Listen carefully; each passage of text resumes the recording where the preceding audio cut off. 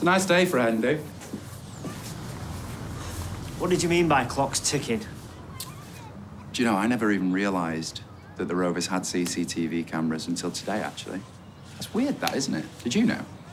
I don't really care. Well, it makes sense, though, doesn't it? Must be a lot of weirdos around here. Muggers, burglars. I mean, I bet all sorts goes on in that ginnel. And in these yards, actually.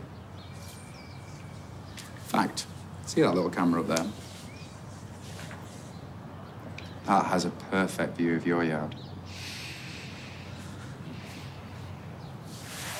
You're bluffing? Am I? No, maybe I am. Maybe I'm not. Either way, I've just rigged up Peter's laptop to the TV in the bistro. And your missus is in there and thinks that she's about to watch a DVD of her best bits. What are you saying? Honestly, Chesney, do I have to connect every dot for Right, okay, stay with me. Approximately four minutes' time, your missus and all of her mates are going to watch you chin yourself in the face with a brick. Clock's ticking, Ches. Tick tock.